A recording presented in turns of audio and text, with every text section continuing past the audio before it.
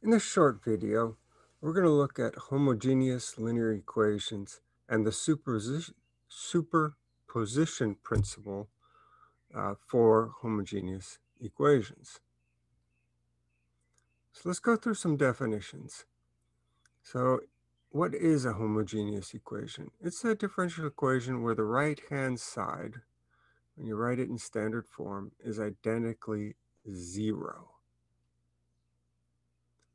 If instead of having zero, we have a function of x, we call that a non-homogeneous equation. Now, if we want to solve a non-homogeneous equation, our first step is to solve the corresponding homogeneous equation. We simply replace the g of x by zero and solve it. So from this point forward in the course, we're going to make the following assumptions. We're going to say that all of the coefficient functions in our linear equation and the right-hand side are continuous, plus we're going to assume that the leading coefficient function is not zero for all x in the interval of definition.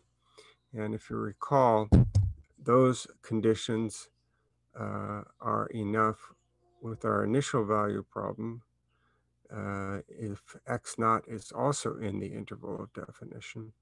Those conditions guarantee that we're going to have a unique so solution. We will also make use of the notion of differential operators and the notation that's used with differential operators. If you take a linear algebra class, you'll learn that an operator is simply the name of a special type of function. So differential operators are differential functions. Uh, so a differential operator, though, is a function of functions. Its inputs are not numbers. Its inputs are functions. And so it takes a function as an input applies coefficients and, and takes derivatives and then outputs then a new function using those derivatives and coefficients. The simplest differential operator is just capital D, which just means take the first derivative or take one derivative of the input function. So the derivative I'm sorry, d of x cubed would equal 3x squared. So the input function, the input is a function, and the output is a function as well. d of cosine of 4x would be the derivative of cosine 4x, which is negative 4 sine of 4x. If we put a superscript on an operator, that just means to apply that operator that number of times. So if I have d squared of e to the 3x, that means apply that d operator. In other words, take the derivative of e to the 3x, get an output, and then take the derivative again. In other words, we're taking the second derivative. So, uh, and this is really the good way of thinking about it. We're going to take d of d of e to the 3x, which would be the equivalent to taking the second derivative. You can have more complicated differential operators. So for example, you could have uh, an operator which uh, corresponds to the nth order linear differential equation. And so, uh, for example, L would mean, okay, if you put a function here, you would take the nth derivative of the function, multiply it times the function a sub n of x. And then you would take the n minus 1 derivative of f and multiply it times this function. And so on until you get down to the first derivative multiplied times a1 of x, and then just some uh, coefficient uh, a sub 0 of x, which would be multiplied by the function without any derivatives. So you can think of this L as just being a shorthand for writing out that entire statement. Now, there's two fundamental properties that any differential operator will have. In fact, any operator itself will have. Uh, for the differential operators, it just comes from the properties of derivatives. An important property is that you can factor out a constant multiplier. And if you take the derivative of the sum, that's going to be the sum of the derivatives. And this is true not only for D, but for any differential operator. And so we can summarize that by saying, if I take alpha f times beta g, use that as my input to L, I can break that down by factoring out the constants and breaking up the sum into two applications of the operator L. Here, alpha and beta are constants.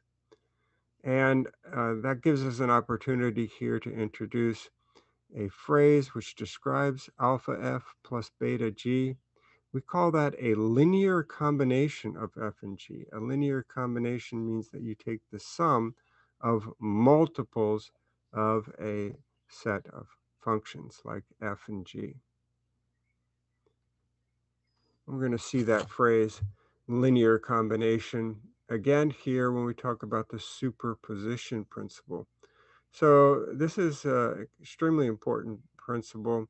What it says is that if you have k solutions of a differential equation, a homogeneous differential equation, then if you take any linear combination, in other words, if you multiply those solutions by constants and sum up the uh, result, you'll get another solution.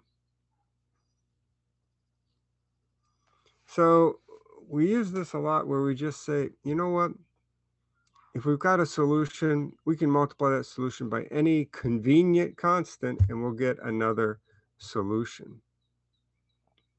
And that constant could be chosen to be the zero, so c equals zero, which means if I take that solution, multiply by zero, I get zero. That must be another solution. So every linear homogeneous differential equation has the trivial solution y of x is identically zero.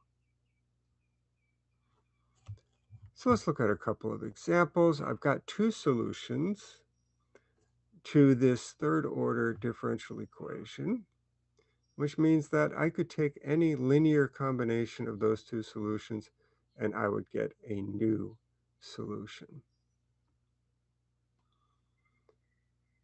Here's another example. Uh, y equals e to the power of 7x is a solution to this second order differential equation.